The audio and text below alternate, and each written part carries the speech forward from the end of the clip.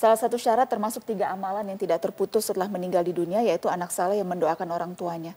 Apakah harus memenuhi syarat saleh dulu agar terpenuhi? Bagaimana persyaratan menjadi anak saleh itu sehingga doanya didengar? Iya, soleh itu apa tuh artinya soleh? Soleh itu adalah uh, uh, uh, terpenuhinya nilai-nilai terhadap sesuatu, maka dia dianggap soleh. Kursi ini soleh kalau dia punya kaki sehingga bisa diduduki. Kalau tidak bisa diduduki dia tidak soleh. Nah, ada nilai-nilai. Sesuatu yang soleh itu minimal memenuhi nilai 50% ke atas. Selama sudah bisa diduduki, tidak harus kenyataan.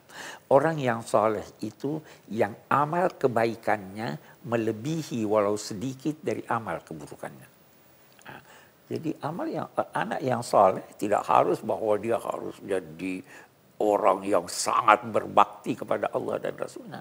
Yang penting dia melaksanakan kewajiban dan dia berbuat baik, perbuatan baik yang tidak harus mencapai 60% pun tidak. 51% sudah oke. Okay. Nah, itu yang mendoa kepada orang tua. Boleh jadi doa kepada orang tua itu dinilai Tuhan amal saleh buat yang bersangkutan. Sehingga eh, bisa saja. Dan itu memang amalan yang tidak akan putus walaupun Tidak meninggal. akan putus selama-lamanya. Tidak akan putus.